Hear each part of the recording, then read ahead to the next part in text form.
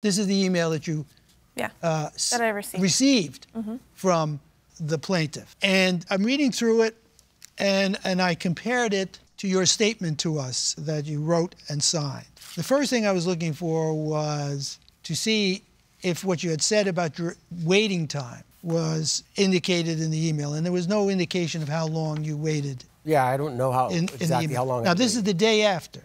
And the second thing was there was no indication that the person offered you a gift card. Right in here. In your email, you just say that she, uh, this is part of it. So she goes to the register and pulls the entire cash tray out and sets it on the counter. Then she slowly starts messing around with the register, obviously deliberately being slow to be a B word to me. She then refuses to give me the money back. So after your employee stole my money, I left. Right. Your employee who just robbed me for $5 told me to have a nice day. You didn't mention that anything about a gift card. No. You, That's not what I wanted. I just oh. mentioned that but you she didn't feel give me that she was money back. taunting you. Oh, she definitely was. When she looked back at me and gave me that look, when I said, "Hey, just give me my money back. I, I gotta go." Then Wh- she where right is- there it started. Where is this young woman? She didn't want to come because she had dealt with him on the first day, and her family advised her that it probably wasn't the best. She didn't even give me the coffee. She put it to the side of the coffee machine, then walked up to me and gave me this look and went, "Now you can get it." So she was definitely being that. She was doing it on purpose, and I just was like, "Okay, just give me my money back." And then when she knows that she's not giving my money back when we walk over there, and then takes the tray out, and I'm like, "Just give me my five dollars." She's still not saying anything, and then she's fumbling around in there. I don't know what she's doing until she goes, "We give gift cards instead," and I'm like, "Oh no." We Do can you open- doubt that that happened? I believe what he wrote in his email was accurate. Okay, I have a question.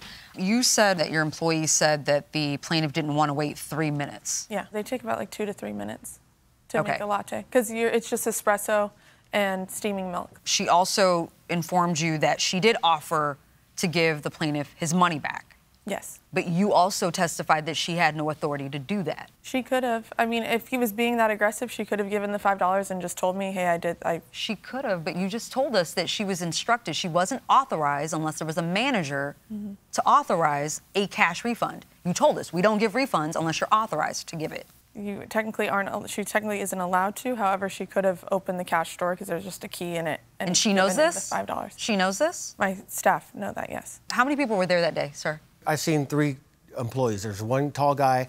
He was stocking shelves in the back, going back and forth, and then the woman I dealt with, and then the new girl she was. Supposed So to what she should have done is given him his money back, even though she felt like she wasn't authorized to do so. Yes, she should have. Yes.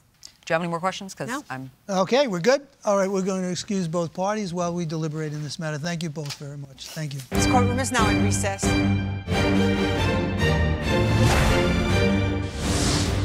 What's interesting about this case is that I believe that the plaintiff really experienced a sort of passive aggressive employee. But I also believe that the plaintiff was also aggressive in just his demonstration today. I mean, his tone was up, he was super defensive, he talked over me, and I felt like, okay, if you can do that to a judge, then you certainly did that to a barista. Anyways, I say all that to say he's owed the $5. It's just basic common courtesy, customer service. Him going to wherever this cafe was 120 miles from where he lived is insanity.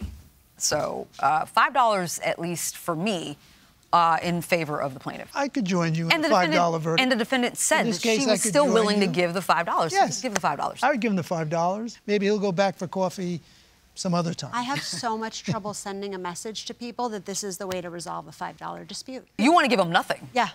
I believe he failed to mitigate damages and failed to take the appropriate step to get his $5 back. I think if he had just been a reasonable person who wasn't set out to make this the trial of the century, it was very obvious the defendant would have made sure he got his $5 back. So I'm going to dissent, understanding that I'm in the minority. Okay, so Good. we, we have a verdict with a dissent. We do. Okay.